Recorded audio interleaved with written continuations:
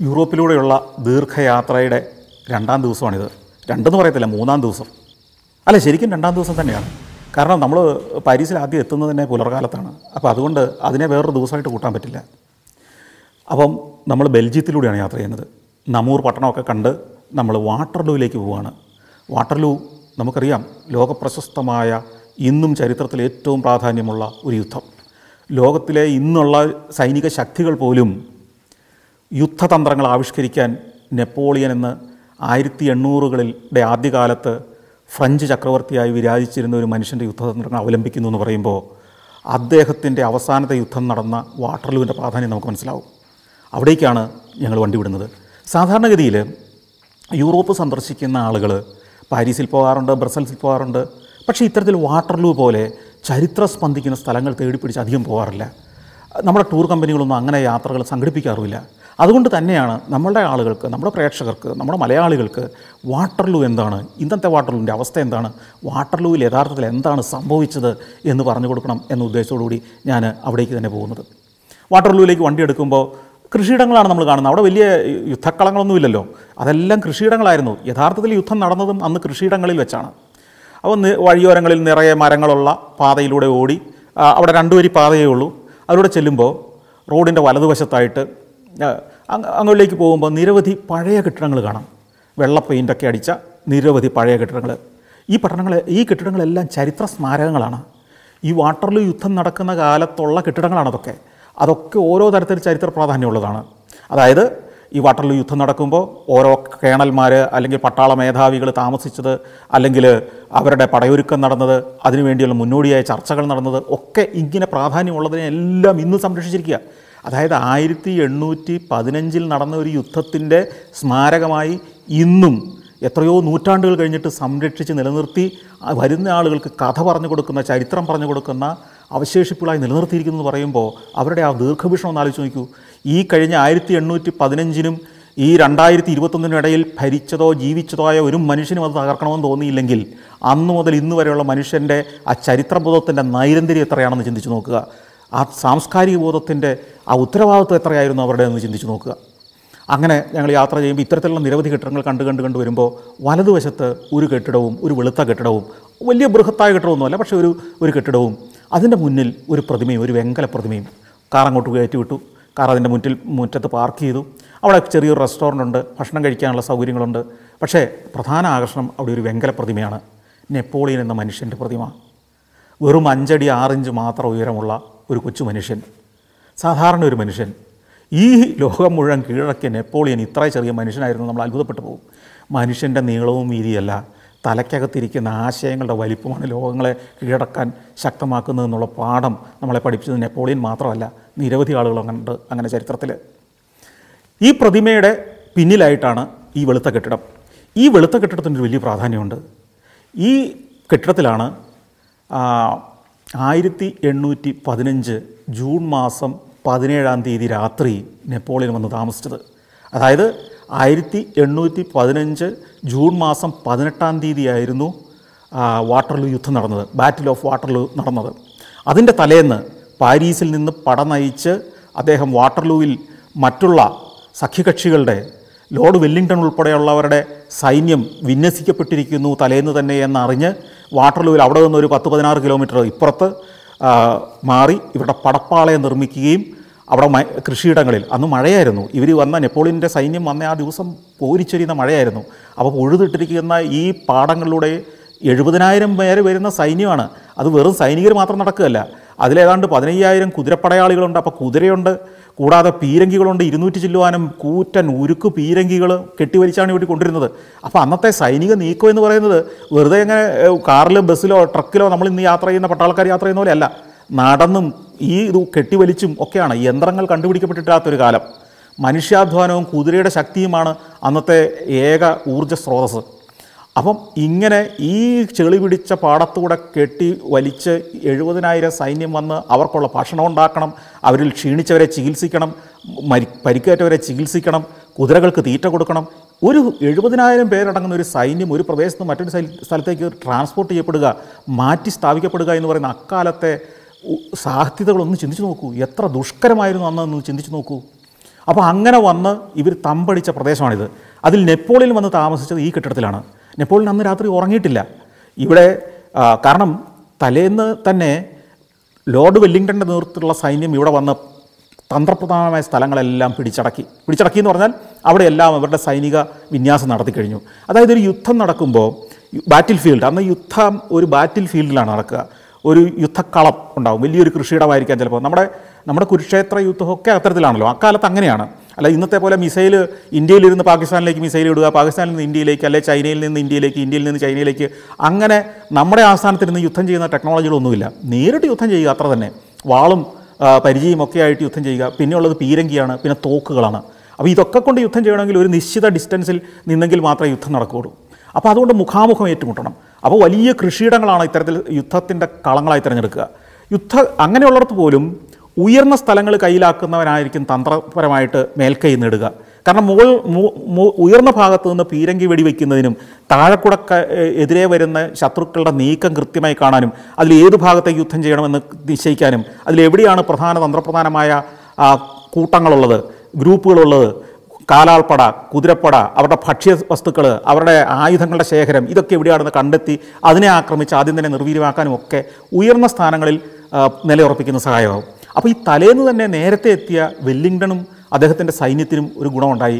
അവർ നേരത്തെ തന്നെ തന്ത്രപ്രധാന സ്ഥാനങ്ങളിൽ സ്ഥാനം ഉറപ്പിച്ചാണ് അന്ന് രാത്രി വിശ്രമിക്കുന്നത്. നെപ്പോളിയൻ വന്നപ്പോഴത്തേക്ക് അല്പം വൈകിപ്പോയി. അത് പ്രത്യേകിച്ച് ഈ മഴയും കൂടെ.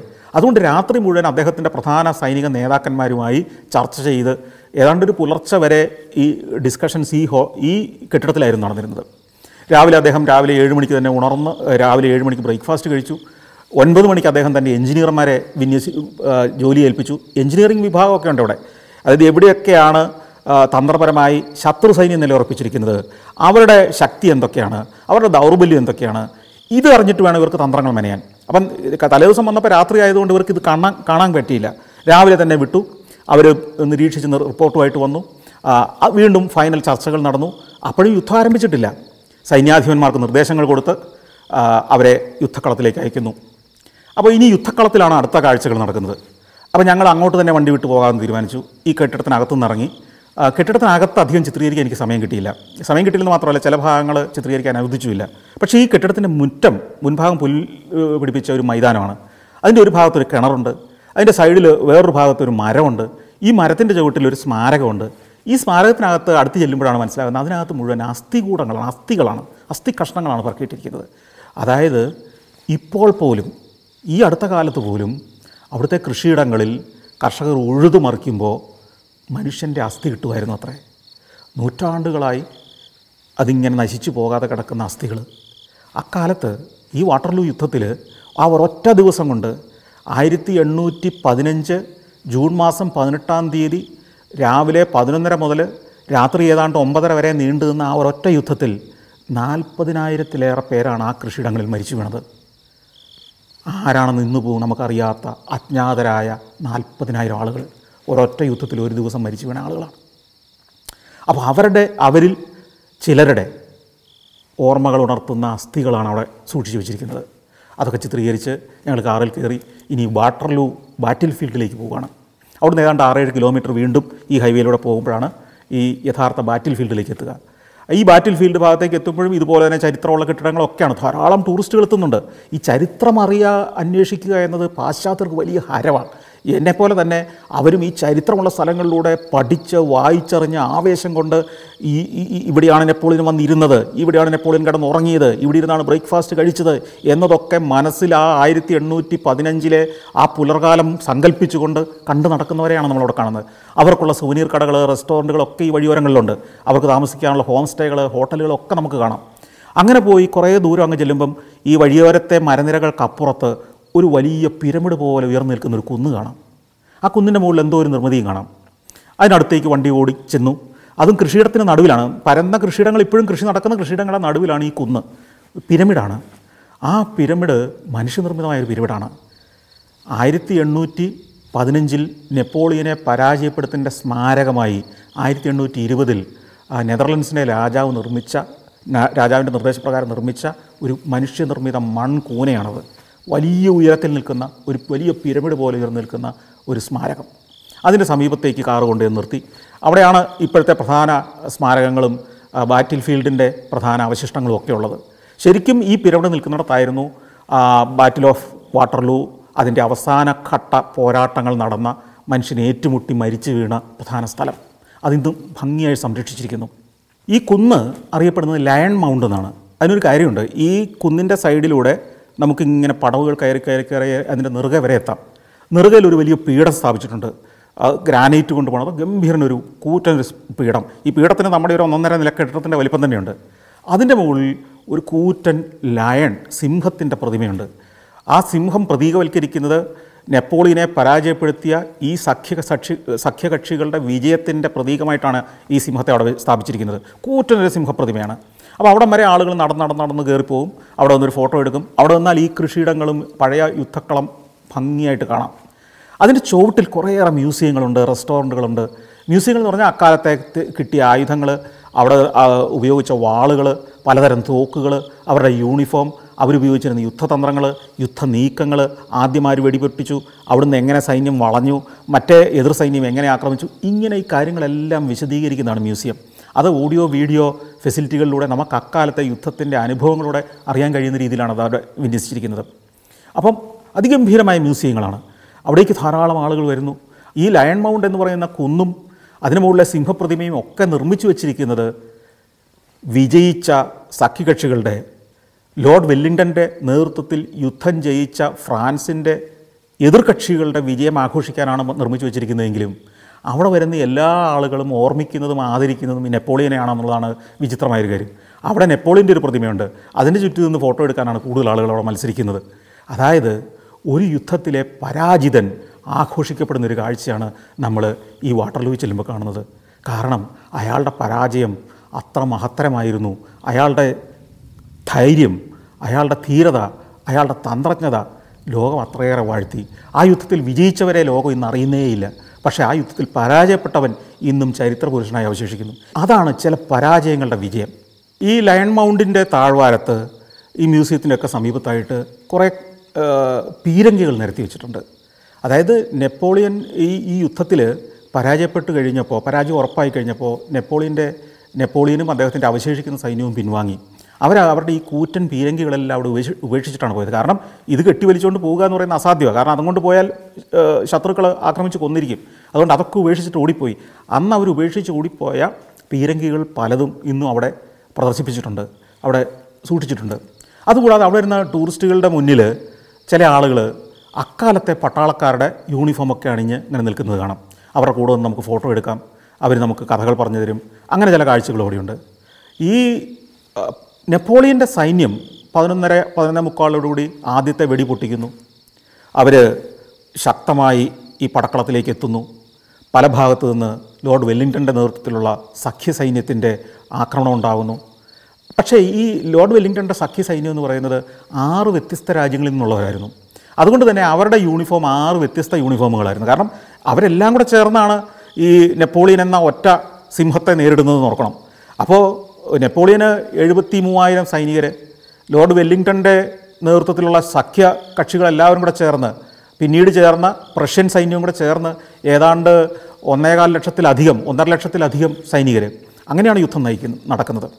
അപ്പോൾ യുദ്ധത്തിന്റെ ആദ്യ ഘട്ടത്തിൽ നെപ്പോളിയൻ തന്നെയായിരുന്നു വിജയിച്ചു നിന്നിരുന്നത്. ഈ യുദ്ധത്തിൽ നെപ്പോളിയന്റെ പടയുടെ ഒരു വിന്യാസം എങ്ങനെയെന്ന് ചോദിച്ചു കഴിഞ്ഞാൽ ഏതാണ്ട് ഒരു ഇരുന്നൂറ്റി അൻപതോളം പീരങ്കികളാണ് ഏറ്റവും മുന്നിൽ അണിനിരക്കുക. യുദ്ധം മുന്നിൽ ഏറ്റവും മുന്നിൽ അണിനിരക്കുക. ശത്രുക്കളുടെ മുന്നിൽ ആദ്യം കാണുന്നത് പീരങ്കികളാണ്. ഇരുന്നൂറ്റി അമ്പത്തിരണ്ട് പീരങ്കികൾ നിരന്ന് നിൽക്കുന്നു. അതിന്റെ തൊട്ടു പിന്നിൽ എണ്ണായിരത്തിലധികം വരുന്ന തോക്കുധാരികളായ പടയാളികൾ അതിന്റെ പിന്നിൽ പതിനാലായിരത്തി മുന്നൂറ്റി തൊണ്ണൂറ് കുതിരപ്പടയാളികൾ കുതിരപ്പുറത്തിരിക്കുന്ന പടയാളികൾ അതിന്റെയും പിന്നിലാണ് കാലാൾപ്പട നിൽക്കുക. അതായത് കാലാൾപ്പട ഏറ്റവും പ്രൊട്ടക്റ്റഡായിട്ടാണ് നിൽ നിർത്തുക. പീരങ്കിപ്പട ഏറ്റവും മുന്നിൽ നിൽക്കാൻ കാരണം എന്താണെന്ന് വെച്ച് കഴിഞ്ഞാൽ ഈ യുദ്ധം തുടങ്ങുമ്പോൾ തന്നെ ഈ പീരങ്കി വെടികൾ അങ്ങ് ആരംഭിക്കുകയാണ്. ഈ പീരങ്കി ഉണ്ടകൾ വന്ന് ശത്രു സൈന്യത്തിലേക്ക് വന്ന് വീഴുന്നതോടുകൂടി ഇവർ തലേദിവസം റെഡിയാക്കി നിർത്തിയിരിക്കുന്ന അറേഞ്ച്മെന്റ്സ് എല്ലാം അലങ്കോലമാകും അത് മറ്റേ സൈന്യവും വെ- വെല്ലിംഗ്ടന്റെ സൈന്യവും അങ്ങനെയൊക്കെ തന്നെയാണ് ഏതാണ്ട് ഇതേ പാറ്റേണിൽ തന്നെ നിർത്തിയിരുന്നത് അതായത് അന്നത്തെ യുദ്ധതന്ത്രം ഇതായിരുന്നു. എല്ലാം ഒരുങ്ങി നിൽക്കുന്ന എതിർ എതിർപക്ഷത്തെ ശത്രുപക്ഷത്തെ ആദ്യം തന്നെ ഭീതിപ്പെടുത്താനും അവരെ ചെതറിക്കാനും ഏറ്റവും നല്ല മാർഗം ആദ്യം തന്നെ പീരങ്കി വെടി അങ്ങ് തുടങ്ങുക. ഈ പീരങ്കി വെടി ഒരു കിലോമീറ്റർ അപ്പുറമൊക്കെ വരെ ചെല്ലുന്ന പീരങ്കി ഉണ്ടകളാണ് അക്കാലത്ത്. അത് ചെന്ന് വീണ് ആ സൈന്യത്തെ അങ്ങ് ചെതറിക്കും. മുമ്പിൽ നിൽക്കുന്ന കുറേ പേർക്ക് പരിക്ക് പറ്റും. അതിനിടയ്ക്ക് കുറേ പേർക്ക് മരിക്കും. ഇതൊക്കെ ആകുന്നതോടുകൂടി അവരുടെ ആ ആദ്യത്തെ ആവേശമൊക്കെ ഒന്ന് കെടും. അതിനുശേഷം തോക്കുധാരികൾ വെടിവയ്പ്പ് പിന്നെ കുറേ കൂടെ അടുത്തെത്തിക്കഴിഞ്ഞിട്ട് ഇവർ തമ്മിൽ വെടിവെപ്പ് ആരംഭിക്കുന്നു. അതിനേം പിന്നിലാണ് കുതിരപ്പട. ഈ തോക്കൊക്കെ അന്നത്തെ എന്ന് പറഞ്ഞാൽ ഒരു വെടി വെച്ച് കഴിഞ്ഞാൽ പിന്നെ അത് നിറച്ചെടുക്കുകയാണെങ്കിൽ ചിലപ്പോൾ ഒരു രണ്ടോ മൂന്നോ നാലോ മിനിറ്റൊക്കെ സമയം വേണം. അതുകൊണ്ടാണ് ഈ എന്തുകൊണ്ടാണ് എല്ലാവരും തോക്കുമായിട്ടാണ് യുദ്ധത്തിന് പോകാത്തത് എന്നുള്ളതിന്റെ ഉത്തരം അതാണ്. അന്നത്തെ തോക്കുകൾ ഇന്നത്തേതുപോലെ ചറപറ വെടിവെക്കാൻ പറ്റുന്ന സാധനമല്ല. ഒന്ന് നിറച്ചിട്ട് ഈ വെടിവെച്ച് കഴിഞ്ഞാൽ പിന്നെ വീണ്ടും നിറച്ച് എടുത്ത് വരണം. അപ്പോൾ ഒരാൾക്ക് ചിലപ്പോൾ റിസർവ് ഒരു തോക്കൂടെ ചിലപ്പോൾ കാണും. അത്രയ്ക്കേ ഉള്ളൂ അന്ന്. അപ്പോൾ അതുകൊണ്ട് അപ്പോഴേക്കും മറ്റവരുടെ ആക്രമണം തുടർന്നുകൊണ്ടേയിരിക്കും. അപ്പോൾ ഇതിന് പല തന്ത്രങ്ങളാണെന്നുണ്ട്. അതുപോലെ തന്നെ ഈ തോക്കുധാരികളായ എണ്ണായിരം പടയാളികൾ ഒന്നിച്ചൊറ്റയ്ക്കങ്ങ് വെടിവെക്കുകയല്ല. അവരെ പല ലെയറുകളായിട്ട് നിർത്തുകയാണ് ചെയ്യുന്നത്. കമഴ്ന്ന് നിലത്ത് കിടക്കുന്ന ഒരു കൂട്ടർ മുട്ടിൽ നിൽക്കുന്ന ഒരു കൂട്ടർ നിവർന്ന് നിൽക്കുന്ന ഒരു കൂട്ടർ ഇങ്ങനെ മൂന്ന് തട്ടുകളായിട്ടൊക്കെയാണ് നിൽക്കുക. കമർന്ന് കിടക്കുന്ന ആളുകൾ ഒരു നേരം വെടിവെച്ച് കഴിഞ്ഞാൽ ഉടനെ മുട്ടിൽ നിൽക്കുന്നവർ അടുത്ത നേരം വെക്കും അടുത്ത വെടിവെക്കും നിവർന്ന് നിൽക്കുന്നവർ അടുത്ത വെടിവെക്കും അപ്പോഴത്തേക്കും കമഴ്ന്ന് കിടക്കുന്നവർക്ക് നിറയ്ക്കാനുള്ള സമയം കിട്ടുന്നു അവർ അടുത്ത വെടിവെക്കുന്നു ഇങ്ങനെയൊക്കെ പല തന്ത്രങ്ങളാണ് കാലത്തെ യുദ്ധങ്ങളിലുള്ളത്. ഇത് കഴിയുമ്പോഴത്തേക്കും കുതിരപ്പടയാളികൾ പരസ്പരം ഏറ്റുമുട്ടുകയായി. അത് പൊരിഞ്ഞ വാൾ യുദ്ധമാണ്. കുന്തവും വാളും ഒക്കെ ഉപയോഗിച്ചുള്ള അക്കാലത്തെ യുദ്ധങ്ങൾ അതിനിടയ്ക്കും വെടി നടക്കുന്നുണ്ടാവാം പീരങ്കി വെടി നടക്കുന്നുണ്ടാവാം. പക്ഷേ ഇങ്ങനെ ഈ യുദ്ധം പുരോഗമിച്ച് ഉച്ച കഴിഞ്ഞ് ഒരു മൂന്നര ആയപ്പോഴത്തേക്കും ലോർഡ് വെല്ലിംഗ്ടന്റെ നേതൃത്വത്തിലുള്ള സഖ്യസൈന്യം അതായത് നെപ്പോളിയനെതിരെയുള്ള സൈന്യം ഏതാണ്ട് പരാജയം ഉറപ്പിച്ചു. അവർ പല വഴിക്ക് ചെതറി. അവർ യുദ്ധത്തിൽ ഏതാണ്ട് പരാജയപ്പെട്ടു എന്ന് തീരുമാനമായി നെപ്പോളിയൻ വിജയം ഏതാണ്ട് ഉറപ്പിച്ചു. ഈ സമയത്താണ് വലിയൊരു അട്ടിമറി നടന്നത്. അതായത് ഇവരുടെ തന്നെ ഒരു സഖ്യകക്ഷിയായിരുന്ന പ്രഷ്യ അതായത് ഇന്നത്തെ ജർമ്മനിയൊക്കെ ഉൾപ്പെടുന്ന പ്രദേശമാണ് പ്രഷ്യൻ സാമ്രാജ്യം എന്നത്. ഈ പ്രഷ്യയിൽ നിന്ന് ഒരു അമ്പതിനായിരം സൈന്യം ഇവർക്ക് സപ്പോർട്ട് അർപ്പിച്ചുകൊണ്ട് ഇവർക്ക് പിന്തുണ നൽകിക്കൊണ്ട് ആ സമയത്താണ് കറക്റ്റ് കയറി വരുന്നത്. അതോടെ കളം മാറി പെട്ടെന്ന് യുദ്ധത്തിന്റെ ഗതി മാറി. വെല്ലിംഗ്ടന്റെ നേതൃത്വത്തിലുള്ള സൈന്യം നെപ്പോളിയനെ ആക്രമിക്കുന്നു. അൻപതിനായിരം പേര് വീണ്ടും വരിക എന്ന് പറഞ്ഞാൽ നെപ്പോളിയൻ ആകപ്പാടെ എഴുപത്തി മൂവായിരം പേരേ ഉള്ളൂ. അതിൽ കുറേയേറെ പേര് ഇപ്പോൾ തന്നെ മരിച്ചു കഴിഞ്ഞു. ഇവർ രാ പതിനൊന്ന് മണി മുതലുള്ള യുദ്ധത്തിൽ അവർ തളർന്നു കഴിഞ്ഞിരിക്കുന്നു. അവരെ ആക്രമിച്ച് കീഴടക്കാൻ വളരെ എളുപ്പമായി മാറി. രാത്രി വൈകുന്നേരം ഒരു ആറര ഏഴ് മണി കഴിഞ്ഞതോടുകൂടി പരാജയം ഏതാണ്ട് ഉറപ്പായി. നെപ്പോളിയൻ അവശേഷിക്കുന്ന സൈന്യവുമായിട്ട് നെപ്പോളിയൻ അതിവേഗം പാരീസ് ലക്ഷ്യമാക്കി തിരിച്ചു പാഞ്ഞു. ലോർഡ് വെല്ലിംഗ്ടൺ പടപ്പാളയത്തിലേക്ക് മടങ്ങി. ഇതിനു മുമ്പ് തന്നെ പരാജയം ഉറപ്പായി കഴിഞ്ഞപ്പോൾ തന്നെ നെപ്പോളിയൻ അതുവരെ പടപ്പാളയത്തിലിരുന്ന് നീന്തു നിർദ്ദേശങ്ങൾ കൊടുക്കുകയാണ്. അന്ന് ചക്രവർത്തിയും അല്ലെങ്കിൽ പ്രധാന സൈന്യാധിപന്മാരും പടപ്പാളയത്തിലിരുന്ന് സുരക്ഷിത താവളത്തിലിരുന്ന് ഓരോ നിമിഷത്തെ നീക്കങ്ങൾ വിലയിരുത്തി ദൂതന്മാർ വഴി സൈനിക നേതൃത്വത്തിന് തന്ത്രങ്ങൾ പറഞ്ഞു കൊടുത്തുകൊണ്ടിരിക്കുകയാണ് എവിടെ ഒന്ന് ആക്രമിക്കണം ഏത് ഗ്രൂപ്പിനെ എങ്ങോട്ട് മാറ്റണം മറ്റൊരു ഗ്രൂപ്പിനെ എവിടേക്ക് മാറ്റി നിർത്തണം ഏത് വശത്തുകൂടി ആക്രമിക്കണം.